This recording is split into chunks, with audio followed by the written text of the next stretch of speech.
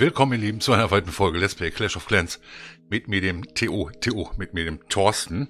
Und äh, ja, es ist mal wieder so ein bisschen an der Zeit, ein kleines Liga-Fazit zu geben. Also, äh, ich denke mal, ich weiß nicht genau, bei euch kann sein, dass die Liga noch nicht ganz um ist, aber bei den Accounts, die ich so ein bisschen bespiele in den einzelnen Clans, ist die Liga mittlerweile um. Hier auch bei meinem Rathaus 13, bei dem fange ich an. Und naja, leider abgestiegen. Uns fehlten am Ende irgendwie vier, fünf Sterne und ist aber, ja, wie soll man sagen, ist nicht so schlimm. Gruppe war stark, muss man sagen, und ähm, verdienter, ja, eigentlich verdienter Aufsteiger. Der hat sich dann auch irgendwie so aus der Mitte nochmal vorgearbeitet. Cafetero und ähm, denn die Bad Boys waren eigentlich immer die ganze Zeit oben und auch die Italian Champs haben immer oben erster, zweiter gespielt. Aber naja, der Spieltag besteht aus sieben Tagen und oh, so sind wir jetzt erstmal in Champ 3 abgestiegen. Ich denke mal, wir wollen dann im nächsten Monat wieder versuchen, dass wir erstmal wieder Richtung Champ 2 gehen. Ist aber jetzt, ja, wie, na, natürlich ist es schlimm, ähm, aber ich muss sagen, für mich jetzt, also wenn ich jetzt mein Fazit, Fazit hier ziehe, und das ist ganz bescheiden, ich habe keinen Einständer diese Woche hingelegt, aber leider auch keinen Dreiständer, was natürlich sehr, sehr schade ist. Aber was willst du machen? Ich gehe mal auf den nächsten Account, also hier leider abgestiegen. Hier gehe ich jetzt auch raus bei den GSI Warriors, denn die haben... Oh, ich habe hier... Oh, hey, 52. Okay, nehmen wir gerne mit. Alles klar, die nehmen wir sehr, sehr gerne mit. Also habe ich auch hier die 250 Sterne jetzt endlich durch in den Clankriegsligen und ähm, aber hier bei GSI gehe ich jetzt raus. Das ist ja so ein bisschen CWL-Clan von Spätzle mit Soße und für die Discord-Meisterschaft wird hier auch gespielt. Aber hier bin ich dann weg und bin dann wieder bei den Soßen. So, hier bin ich auf dem Rathaus 11 und ich sehe gerade gekreuzte Schwerter hier auf unserer Seite. Okay, oh, ich kriege was live rein. Das ist natürlich mal sehr, sehr cool, während einer Aufnahme ein bisschen was live reinzukriegen. Der 10. hier vom FC Hollywood Junior, da spiele ich immer mit dem, oder da bin ich eigentlich mit einem meiner Elver beim, einem meiner Moderatoren, beim Gary, sein Clan. Und hier bin ich schon, ein bisschen länger und hier passt das Gefüge eigentlich immer ganz gut und auch, und auch in dieser Liga hat es ganz gut funktioniert hier. Wir werden hier gnadenlos aufsteigen, also uns ist hier der Aufstieg absolut nicht zu nehmen. Mal sehen, was er hier jetzt gleich macht. Er hat noch ein paar Drachen am Start und auch ein paar Elektrodrachen. Die hauen ihn jetzt aber heftig zur Seite ab. Oh, oh, oh. Zehnten, zehnten. Das könnte noch mal ein bisschen eng werden hier.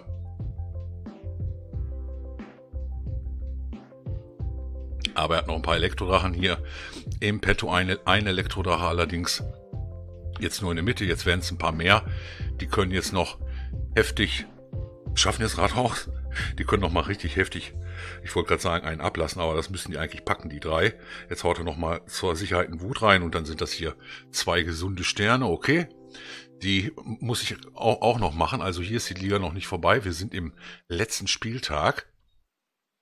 Und ich bin hier auch nicht immer zum Einsatz gekommen. Ich glaube, ich habe den ersten Clankrieg nicht gespielt oder den zweiten, ich weiß gar nicht mehr. Ich glaube, ich glaube es war der erste. Aber ich habe hier dennoch dann meine Sterne machen können, auch teilweise ganz billig, Leute. Ich durfte mit meinem Elfer sogar mal ein Rathaus 5 machen, glaubt man gar nicht. Aber so war die Verteilung hier so ein bisschen und nachdem wir äh, letztes Mal schon aufgestiegen sind, da haben wir aber, glaube ich, eine 30er gespielt, äh, steigen wir dieses Mal auch wieder auf mit dem Clan hier und ich glaube, das war es jetzt auch, 71 Prozent. Ihr seht das 23 zu 9 und ich muss auch noch ran.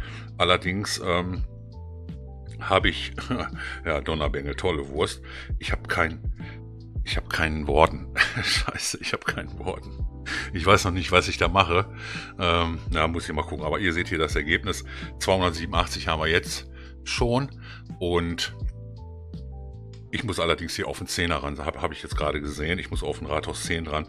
Da muss ich die Wordenzündung vielleicht doch nicht haben. Ich hatte den ein bisschen verfrüht hingelegt. Hätte ich, ich hätte vielleicht auch ansagen sollen, dass ich ähm, den Worden schon mal level. Das mache ich nämlich bei dem anderen Elver auch. Und deswegen wollte ich dem hier jetzt nicht vorgreifen. Es kann sein, dass der hier ein Buch hat, aber ich halte ja die beiden Elver immer so ein bisschen gleich. Naja, okay. Also hier werden wir aufsteigen in Kristall 2. Sehr, sehr nett. Und dann springen wir mal rüber zum Free-to-Pay-Clan.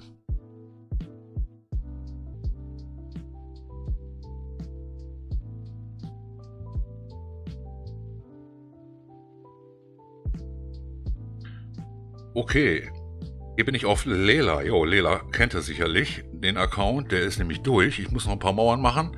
Und soweit ich weiß, immer eine Forschung. Die ist halt, das ist immer meine letzte Forschung im Labor. Und zwar ist es der Erdbebenzauber.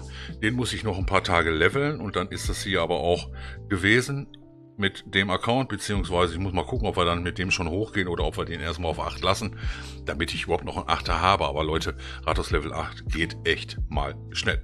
Glückwunsch zum Aufstieg hier nach Gold 3. Ich bin mal gespannt, ob wir uns in Gold 3 hier noch halten, denn äh, wir spielen hier ja only Rathaus 9 876 in der CWL und äh, ja, ich weiß nicht, ob das noch, ob das in der nächsten Saison auch noch so klappt, denn wir haben hier natürlich schon immer, immer mal so ein Elver oder so gehabt. Und ähm, warum haben wir hier eigentlich so hart gewonnen? 539 Sterne haben wir gemacht am Ende, ähm, weil die Gegner teilweise nicht angegriffen haben oder sie hatten nicht so gute Dörfer oder es war auch mal so ein bisschen so wie hier beim, beim Toto, der sich das Ganze so ein bisschen reingemogelt hat. Ihr seht das hier, das ist immer noch eine ganz gängige Armee, um ein Rathaus 11 in die Knie zu zwingen, auch wenn er einen Adler hat, der sogar auf Level 2 ist. Und so kann man das immer ganz gut machen. Da müsst ihr halt sehen, dass ihr eine Base erwischt, wo die vor allen Dingen die Luftabwehren sehr, sehr tief in der Base stehen. Und das seht ihr hier, die stehen im inneren Kreis. Da kommt erstmal nichts hier an meine, an meine kleinen Babydrachen dran. Und so kann ich hier schon mal so ein bisschen so außenrum die ersten Prozente scheffeln. Da muss mir dann allerdings auch so einen kleinen, so einen kleinen Weg Richtung Rathaus bahnen. Das heißt also, so ein bisschen funneln muss ich dann schon, auch wenn ich gleich einen Erdbebenzauber ja dabei habe. Aber so kann man es ganz gut machen. Ihr seht, die Prozente zählen immer weiter hoch und na, fast 50 Prozent schon mit den ähm, Babydrachen hier geholt und die sind jetzt auch, sie sind sogar schon Richtung, Richtung Basis hier gekommen. Also schon an den äußeren Kreis. So weit habe ich das hier abgeräumt. Nur mit dem Babydrachen. 40 Prozent waren es bis dahin. Einmal den Erdbebenzauber hier geschwungen und dann geht das hier heftigst in diese Base rein. Wobei ich sagen muss, heftig ist übertrieben. Ein paar Magier, ein Golem und ein paar Bowler im Gepäck in der Clanburg, Helden dahinter und äh, Doppelgift hier genommen, beziehungsweise, ja, die hatten sehr, sehr häufig so einen, so einen, äh, so einen Elektrodrachen bei den Rathaus Neunern, auch ähm, in den Clanburgen und das ist un unheimlich eng hier gewesen, denn die Queen entscheidet sich doch nochmal, ja, nein, habe ich gedacht, jetzt macht die erst das Skelette an der Tornadofalle, aber dann macht sie denn doch noch kurz mal das Rathaus, das war ja schon angehittet. So kann man es eigentlich ganz gut machen und so mussten das viele hier oben machen, ähm, um dann an die restlichen Sterne zu kommen. Wir haben auch gerne mal oben ausgelassen und haben halt im unteren Bereich in der Regel hier alles zugemacht. Das, so hat uns das Ganze so ein bisschen die Sterne gesichert, auch wenn wir einmal verloren haben. Ähm, das war jetzt gegen den, gegen den zweiten, der war dann doch ein bisschen zu übermächtig, aber er kam halt sternemäßig auch nicht an uns ran. Und ähm, auch wenn der wahrscheinlich auch äh, nur gewonnen hat, beziehungsweise der wird wahrscheinlich nur gewonnen haben und wir haben halt eins verloren. Ist aber nicht so schlimm. Ähm, aber ich bin mal wirklich gespannt, könnt ihr mir mal in die Kommentare schreiben, ob das noch funktioniert mit Rathaus 9 jetzt in der nächsten Liga. Das heißt, die nächste Liga ist ja für uns dann Gold 3 und ob wir uns dann noch halten oder ob wir nicht auch vielleicht doch die Türen jetzt aufmachen müssen für so ein paar, ja, vielleicht für den einen oder anderen Rathaus 10. Creme de la Creme, Sprung zum Avatar.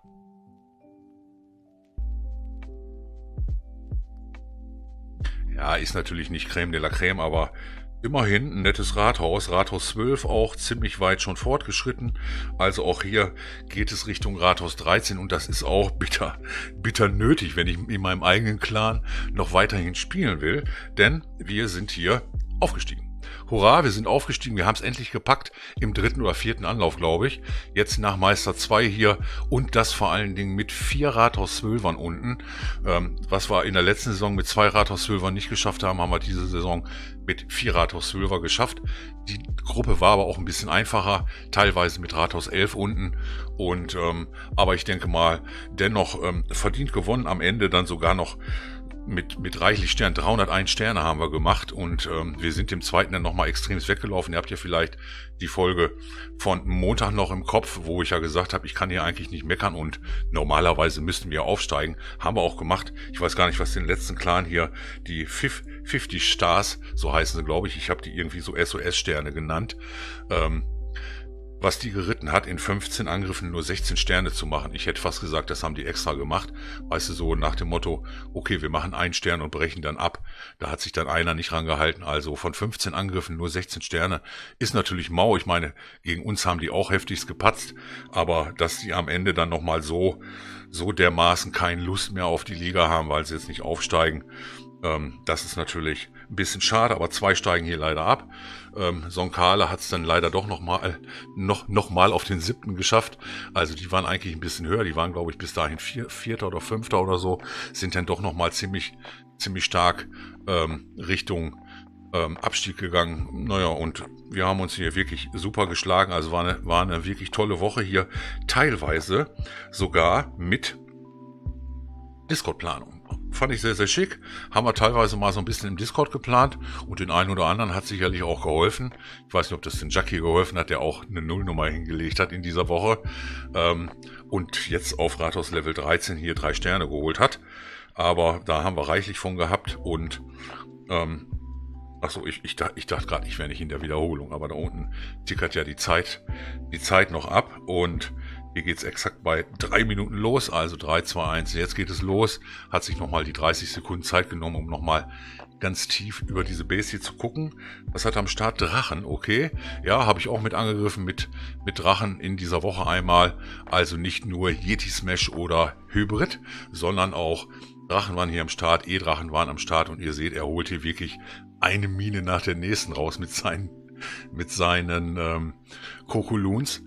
Und ähm, fast jeder hatte hier, glaube ich, Mauerbrecher equipped, also an Supertruppen. Ähm, mal sehen, ob ich das nächstes Mal wieder so hin, hin, wieder, wieder so hinbekomme, dass ich auch selber beim 13er und beim 12er hier Supertruppen habe. Denn äh, die helfen schon ganz gut. Vor allen Dingen ja die, Fass, die Fassroller sind wirklich, wirklich stark. Und äh, okay, die brauchen acht Truppenplatz, aber die sind absolut nicht verschwendet. Denn mit einem Mauerbrecher seht ihr hier und der wandelnden Queen kommt man hier super rein in die Base. Ich weiß nicht, ob da vier Mauerbrecher es dann auch geschafft hätten, aber gegen einen Multi-Inferno musst du mit Mauerbrecher nicht unbedingt kommen, außer du frostest den einmal.